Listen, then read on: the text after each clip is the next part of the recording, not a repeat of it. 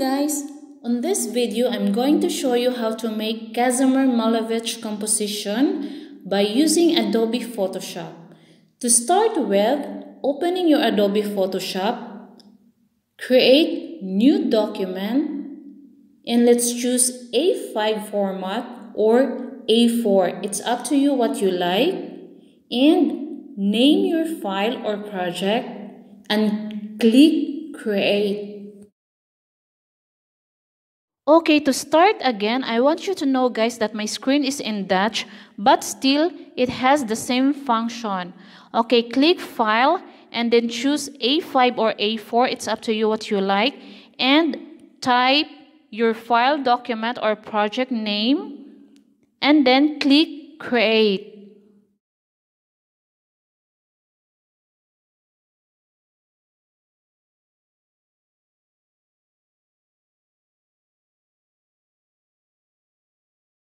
Okay, now for your workspace, click Windows, click Workspace, and Essentials Default.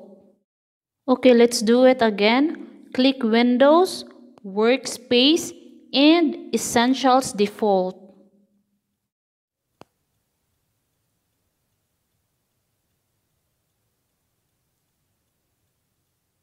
Okay, now from the left side, you can see the tools. Let's start using the different shapes by clicking the square shapes. And here you can see the different shapes of rectangle, square, oval. And we will um, start with using rectangle. And then click and with your uh, workspace click and drag. And if you don't like the color we can change it by clicking the color here by double click.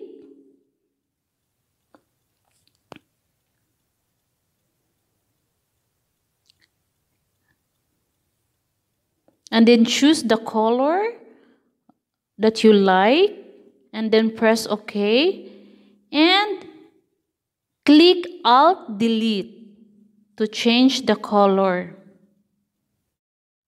And then Command T means transform to turn the object around. Okay, so that's all for now guys and keep exploring on Adobe Photoshop and please don't forget to subscribe. Thank you for watching. Bye!